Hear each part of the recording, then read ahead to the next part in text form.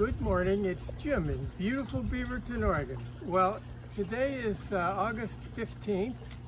Uh, it's gorgeous afternoon. This, this backyard's just getting into shade, so I thought I would talk and demonstrate a little bit about the kind of fish you might want to have in your aquaponics system. So I'm, uh, I'm only going to talk about fish that I know something about because it would be stupid to talk about other fish. So let's, uh, and on top of that, I should say that I don't eat my fish, so I'm not raising fish.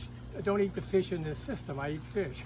Uh, but I don't raise fish to eat, so it's kind of a different deal. So although many of these fish could be raised to eat, or you could eat them right now. Anyhow, uh, on with the show. Uh, the first fish that I'd like to talk about is koi. Uh, I have raised koi, and koi could be used in an aquaponics system, but there are several major problems that you have to get by if you want to use koi in an aquaponics system. Uh, first of all, koi, which is those beautiful big colored fish you see in ponds, get very, very large, 10, 20 pounds or more uh, per fish.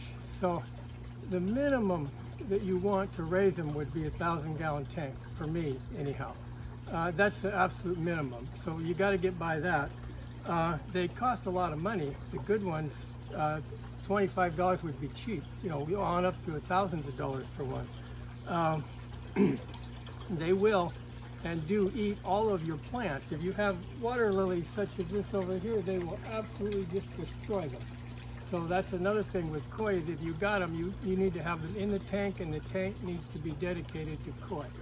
If you already have a koi pond, and I'm talking to the choir, it's a wonderful thing to hook your koi pond up to an aquaponics system, real easy, just like this over here. And, and you'll really see a difference with the filtration. I think it's a wonderful idea. So if you've already got it, let's go from there. Otherwise, I would probably write off koi. Uh, let's get on to the next three that I'm actually raising here. And first thing about all of these fish is they are winter hardy and summer hardy. They can survive water at 80 some degrees or they can survive it with ice on top and that's an important feature uh, to make it easy to deal with. So first thing, uh, catfish. We aren't going to see the catfish I have. I don't think I have one big bullhead catfish down in here. He's not going to come out. He only comes out when he wants to, or she.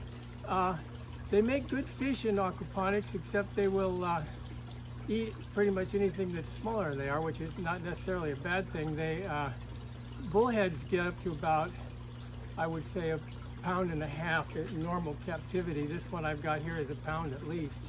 Uh, so you have to figure that when you when you're stocking your pond. Uh, I've only got the one, so I know that people do raise them, and you could raise it to eat. If you were going to raise catfish to eat, and I'm going to break my rule because I haven't raised this kind. Channel cat or something that gets big fast would be the way to go.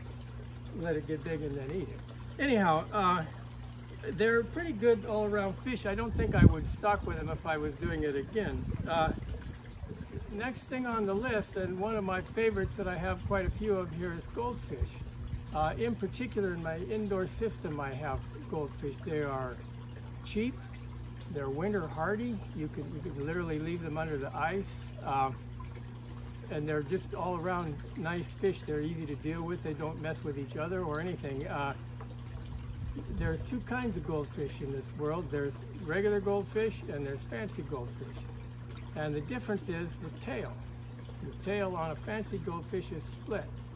If you're gonna have your goldfish in tanks that are, we'll say 100 gallons or less, go with fancy goldfish or even more because they're not very fast. It takes them a long time to get from one end to the other of a pond like that. You get a, a regular goldfish would be from here to there and just like that. So you want at least a few hundred gallons to get the big ones, but they make excellent, excellent fish for aquaponics. Uh, and then on to the final fish we're going to talk about today, and that is sunfish. Uh, in this tank here, I have 10 big bluegill give or take. And uh, they are a type of sunfish. There's a bunch of different kinds of sunfish. Some of these sunfish are around a pound. Uh, I'm going to feed them and hopefully they're going to come out and jump out of the water. So here we go.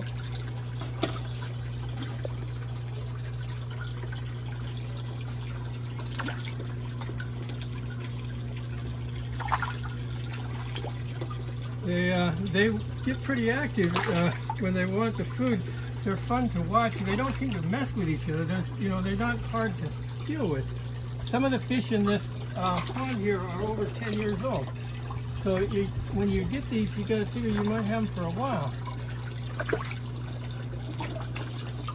Uh, I have a different kind of sunfish inside the greenhouse, uh, Bluegill Hotel, called a pumpkin seed, which is similar to this in many ways. I'm going to step around here, except uh, it only gets about half as big or less. And uh, it would win my vote for the number one fish put in your aquaponics system because they get to maybe half a pound very tops.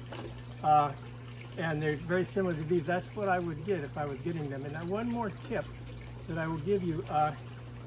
God, you know, these fish, they live in every pond, every ditch, every river in North America has got bluegill in it.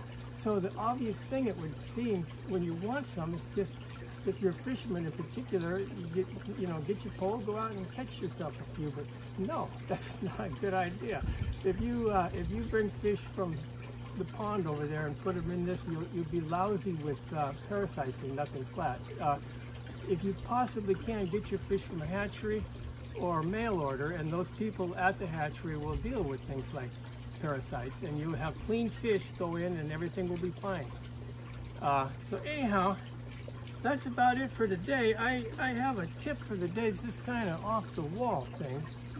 And uh, it's something we've been doing that you might want to do. It can make you feel good and other people feel good and it doesn't cost you anything. Uh, there's a Dairy Queen up the street from us, uh, and this works for other restaurants too, that has a discount for seniors. Well, we never use that discount. Who does? You know, if you're a senior, right? Unless maybe you do, but we probably don't. So when you go up there for dinner tonight, ask for the senior discount. And when they give it to you, give it as a tip to the people that serve you, and they'll be amazed, and you'll be happy, and they will too. Just give it a try. I'll see you next time.